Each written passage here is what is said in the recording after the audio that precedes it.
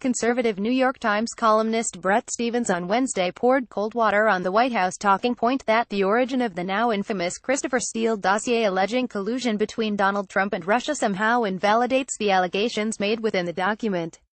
On Tuesday, The Washington Post reported that Fusion GPS, which funded the dossier, was originally commissioned by an unknown Republican operative, and later by Hillary Clinton's campaign and the DNC.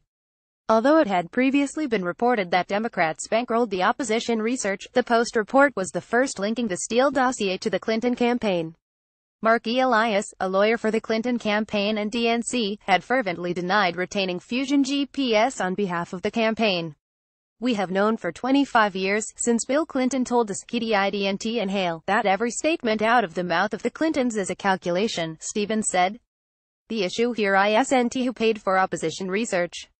The question is is it true Stephens noted Fusion GPS, which is currently cooperating with Robert Mueller's investigation into Russian interference in the 2016 presidential election and possible collusion with the Trump campaign, is a serious organization.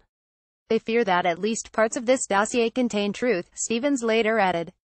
Christopher Steele was a well-regarded British spy. The idea that it's all fake is classic Trump disassembly. Who paid for this is ultimately irrelevant, the Times columnist opined.